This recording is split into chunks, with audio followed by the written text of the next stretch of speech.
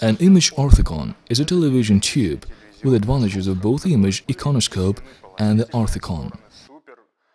It is one of the most perfect television tubes based on the principle of outer photoemissive effect and has already ousted the iconoscope in television tubes.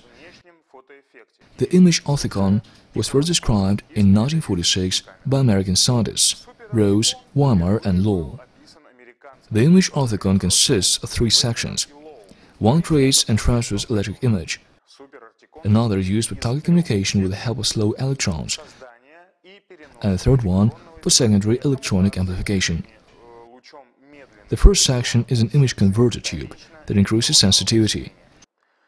It consists of a translucent photocathode mounted on the inside of the end wall of the tube's bulb, an accelerator, and a double-side target. The target is a film made of semiconductor glass. The second section of the tube works with slow electrons.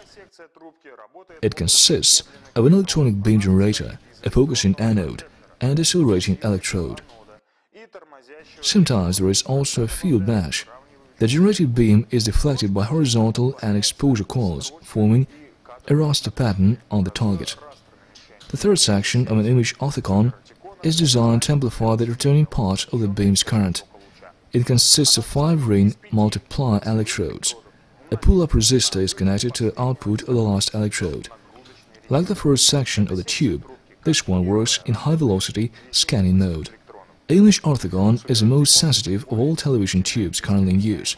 It is stable and can work with a wide range of luminance intensities.